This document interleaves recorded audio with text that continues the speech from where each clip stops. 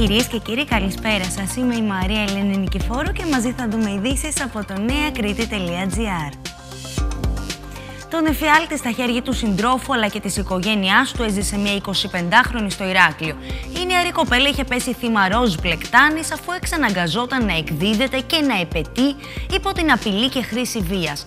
Το μαρτύριό της έλαβε τέλος όταν οι τέσσερις φερόμενοι ως δράστες, μεταξύ αυτών και η μητέρα αλλά και η αδερφή του συντρόφου της, συνελήφθησαν από τις αρχές.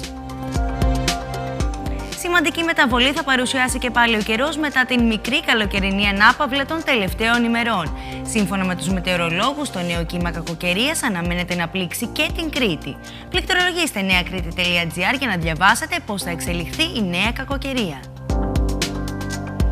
Η ώρα άλλαξε και μαζί και οι ώρες κινής ησυχίας.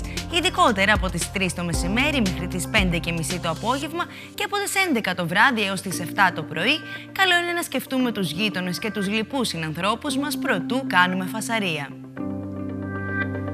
Ακολουθήστε το neakritti.gr σε Facebook, Instagram, Twitter και YouTube για περισσότερες ειδήσεις από την Κρήτη, την Ελλάδα και τον κόσμο. neakritti.gr, η ενημέρωση στα χέρια σου.